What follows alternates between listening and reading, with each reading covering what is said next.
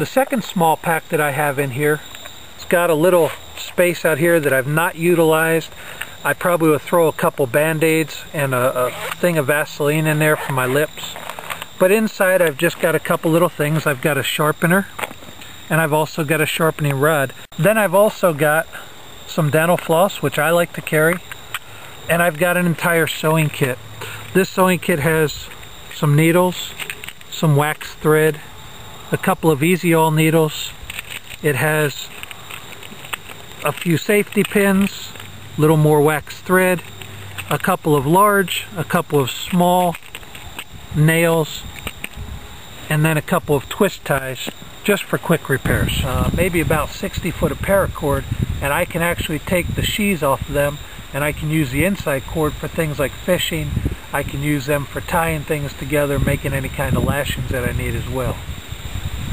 The other two items that I'm carrying in this kit right now are my Gerber saw. You've seen this on other videos. This is just a short little saw. And again uh, this is a couple dollars. I think it's about 10 or 12 dollars. Very inexpensive. And I'm carrying a flashlight. This is actually a Maglite got a good bright light on it. But it allows me to be able to get around if it's dark and I don't want to light that candle.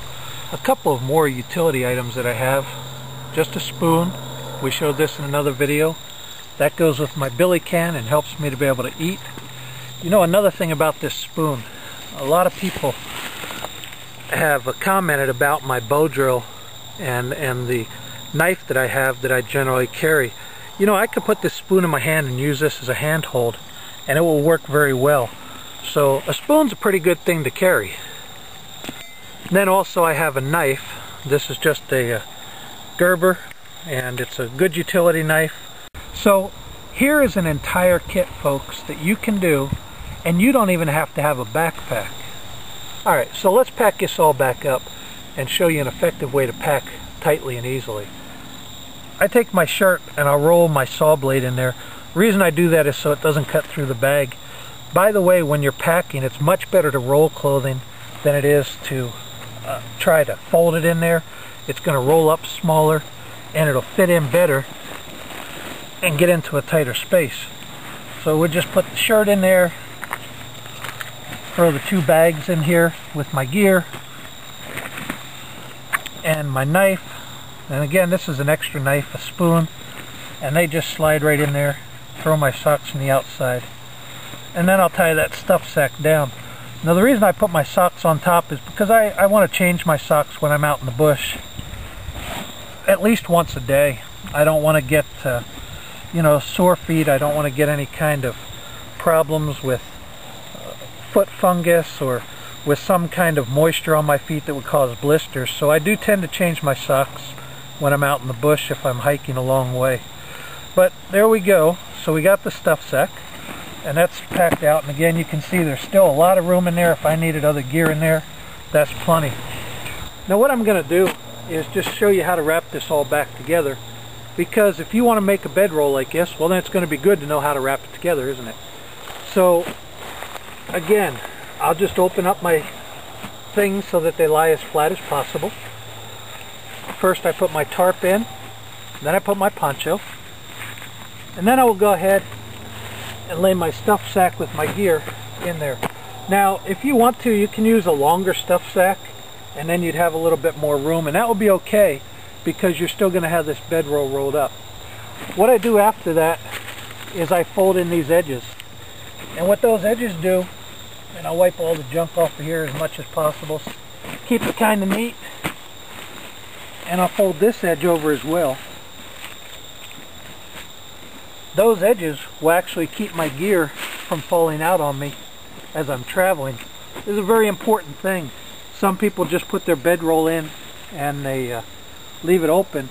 If you do that, what's going to happen is your gear is going to tend to shift as you're walking because you're going to see in a minute when we roll this up that this is actually uh, sideways on my body. And I don't want that to roll off and to lose everything out of there. So I fold those edges in to keep things from sliding in and out.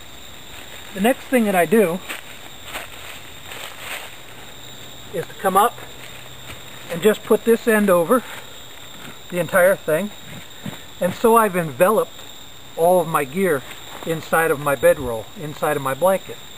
Then I just start to roll. And as I do, again, keep it as clean as possible.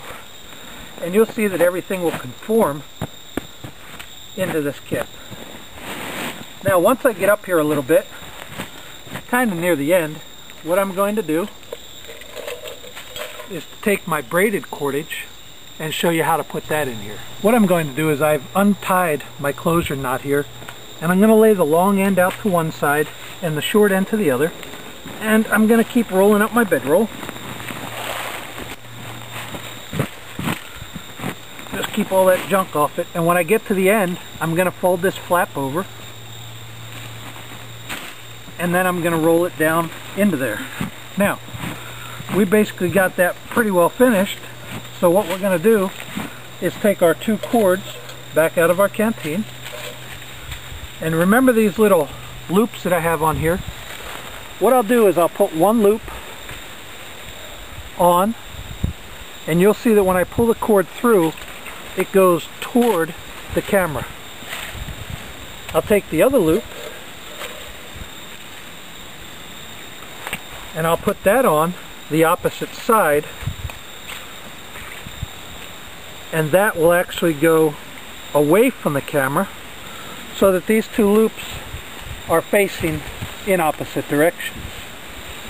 Pull our cord through there.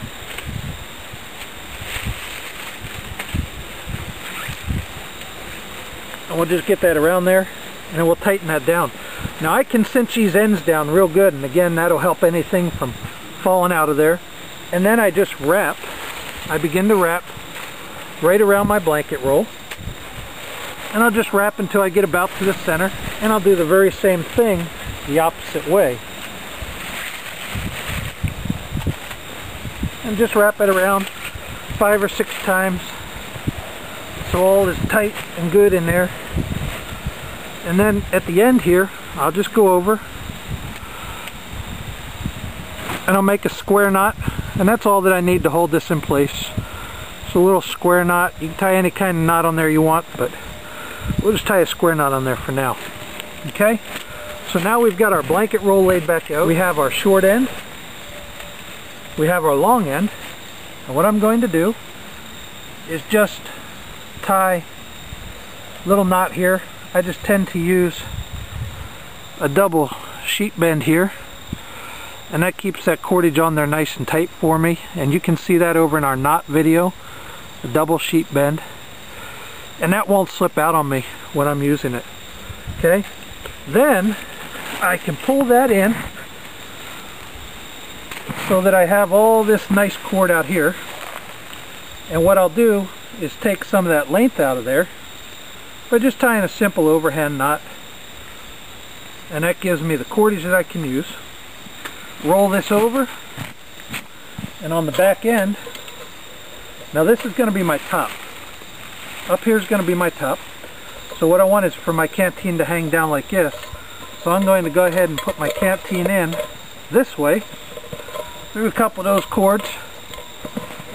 Flip it over and just lock it down. Well I hope you've enjoyed this episode of bushcrafting on a budget. And again it goes to show you folks that if you want to go out for three day, five day, even if you had to go out permanently on a trip, you don't have to buy expensive gear. You can get along with what you have there at home. You know, a lot of things I could have replaced here that would have saved so even think more money. outside the box. Figure out what you can do on the budget that you have and join us again for another video real soon. Have a great day.